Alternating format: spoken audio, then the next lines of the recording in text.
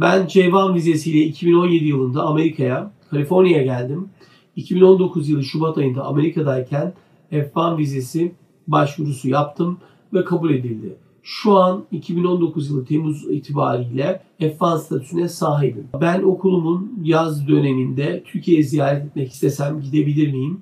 Burada yapmam gereken bir işlem var mı? Tekrar Amerika'ya dönüşte sıkıntı yaşar mıyım? Yoksa F1 vizesine Türkiye'den başvuru yapmam mı gerekir diye bu takipçimiz bize soruyor. Şimdi şöyle söyleyebilirim. Sizin tabii ki Amerika'da statü değişikliği yapıp bu statü değişikliğiyle F1 statüsüne geçmiş olma durumunuz var.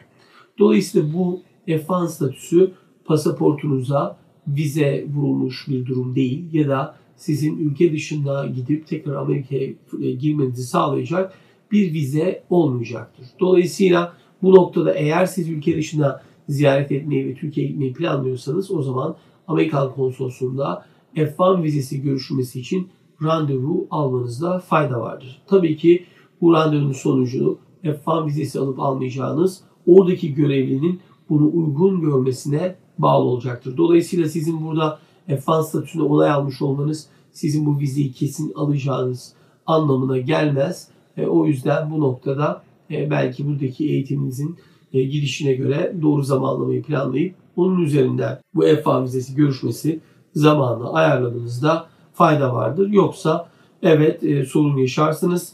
E, vizeniz olmadan Amerika'ya tekrar F1 vizesiyle girmeniz ya da statüsüne sahip olmanız mümkün olmayacaktır. Dolayısıyla F1 vizesi sahibi olmadan Amerikan konsolosundan böyle bir seyahat mümkün olmayacaktır deyip takipçimizin sorusunu cevaplamış olalım.